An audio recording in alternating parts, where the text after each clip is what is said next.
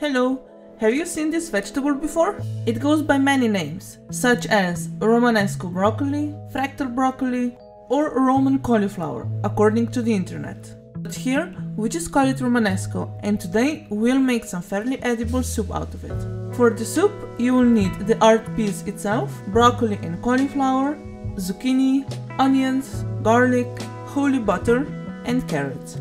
Onions, you dice them. Carrots, you chop them. Zucchini, cut in smaller pieces. Romanesco, you just tear it apart.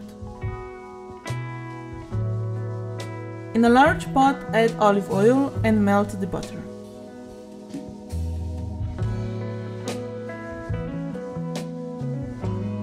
After that, add the onions and crushed garlic and cook for a few minutes.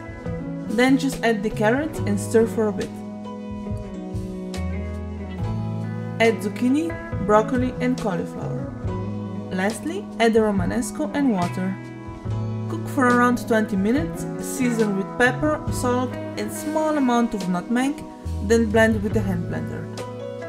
I suggest you to add less seasoning and add to your liking later.